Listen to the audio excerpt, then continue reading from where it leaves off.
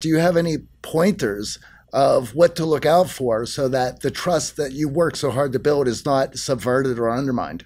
I think the trust is there. In our case, with the you mentioned the space shuttle accident, uh, as I said, trust your equipment. You know, so I remember walking onto Space Shuttle Columbia, thinking, oh, "Okay, I know I, all the workers are really uh, diligent, and I know they worked really hard, and that's this is going to be okay."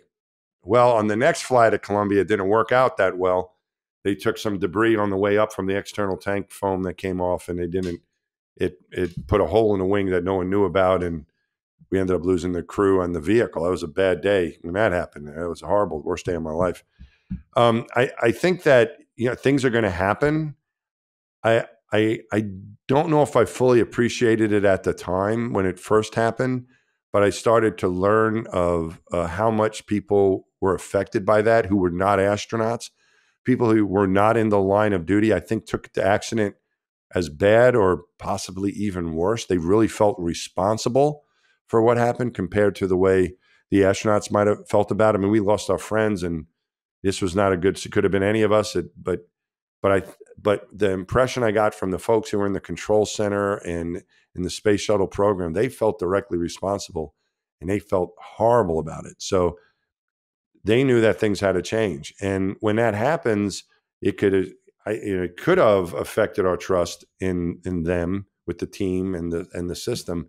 But there was no uh, there's no sugarcoating anything, and a full investigation was done, and everyone admitted, hey, a lot of things were uh, were wrong. When you have a, a major disaster like that, it's never one thing; it's a series of things, both technical and non technical and uh, there's going to be plenty of blame, to go around and everyone has to be open to hearing what happened.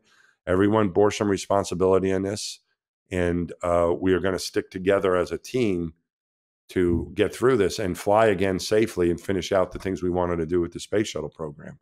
And the way we reacted it's not that you can't you can't prevent accidents but even with your best efforts bad stuff is going to happen. You don't no one wanted a shuttle accident to happen but stuff happens, right? I mean, you never know. It could be a, a pandemic hits and, you know, no, what are you going to do about that? You know, it, or whatever else happens. Things can happen, but it's how you react to it. And so I think the way we reacted to it with diligence to make sure that we understood what happened, put things in place to make sure it never happened again.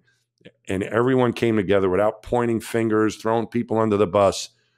And I think that's the way the team should react when it hits adversity you know, it's easy to be a good team member when everyone's winning and high fiving and oh, this is great.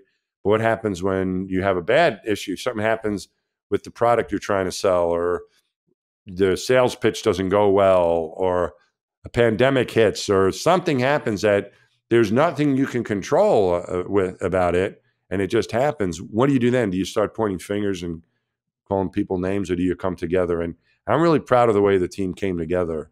And so we it, it tested, I think, the trust we talked about, but the way we dealt with that problem, I, I, I think built the, the team uh, in such a way to make it even stronger, built up the team to make it even stronger than it was before. I think the powerful takeaway in that is understanding that finger pointing is not only building distrust, but it doesn't serve the greater mission. You know, everyone no. involved in that mission was looking for success, was working hard for success. No one went in purposely making any mistake, whether it was technical or, or human error was involved. And so often, finger pointing might absolve us from the blame and the guilt, but it certainly doesn't foster a great team environment.